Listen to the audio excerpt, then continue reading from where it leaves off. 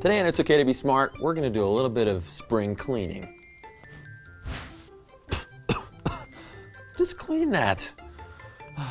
It's all stardust anyway, right, Carl?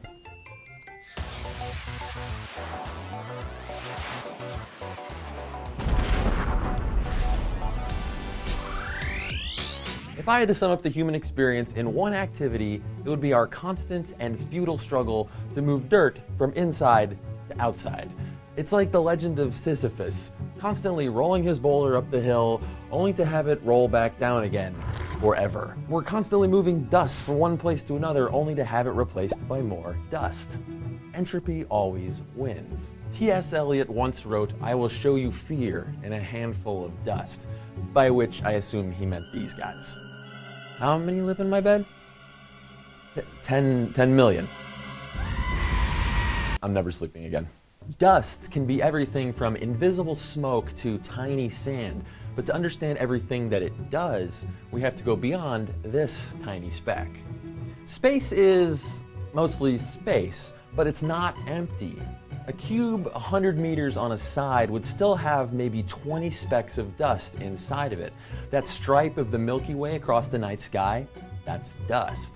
And in that are the atoms, the elements, and the chemicals that made all of this. Our sun and planets and moons and asteroids and comets, everything in our solar system began as a cloud of dust. Five billion years ago, gravity began to sweep that dust into a pile, and millions and billions and gazillions of particles condensed into the solar system that we have today. And some of that dust is still up there today a thin cloud left over from the disk that formed our planets. And on spring nights, if it's dark enough, you can still see it glowing in the western sky after sunset. It's called the zodiacal light. Of course, not all of it stays up there.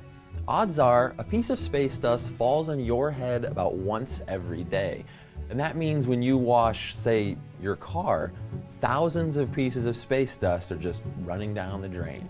And when we look inside that space dust, we find the same elements that make up the Earth itself and everything on it. If you walk around with your tongue out all day, you'd eventually catch a piece of space dust.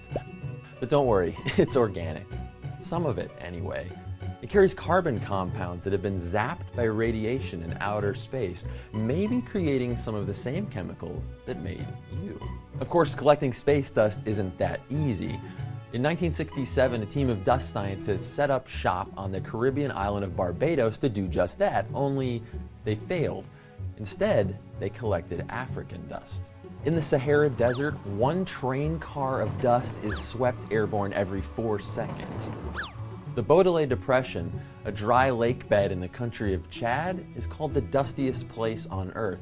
It's just one third the size of Florida, but it fertilizes half the Amazon rainforest. Tiny fossilized skeletons of aquatic creatures called diatoms are swept into the wind and carried westward where they rain down on South America. In 1977, the band Kansas released the single Dust in the Wind which to date has sold more than 1 million copies. And in 1977, the state Kansas received more than 1 million tons of desert dust. And over time, that dust has settled into some of the richest farmland on Earth. A 30 meter thick layer of nutrient rich frosting on top of Earth's crusty cake. Dust has also crossed paths with U2, the plane, not the band. While flying top secret missions up to 70,000 feet above the Earth, U-2 spy planes were outfitted with sticky pads to collect high altitude dust. High up there in the atmosphere, dirt and pollen and even airborne bacteria act as the seeds that let snowflakes form. Now, like dust, that snow falls, and some of it settles into enormous frozen glaciers, Drilling down more than a mile into Antarctica's ice sheets, scientists have found bacteria cryogenically frozen, put in suspended animation in midair more than half a million years ago. Dust can also kill. According to WHO, not the band, one in eight deaths worldwide can be traced to air pollutants, which is mostly our fault. Hannah Holmes says that air is the medium and dust is the message. With every breath we inhale a bit of the story of our universe, our planet's past and future, and the smells and stories of the world around us, even the seeds of life. In other words, Dust. Wind.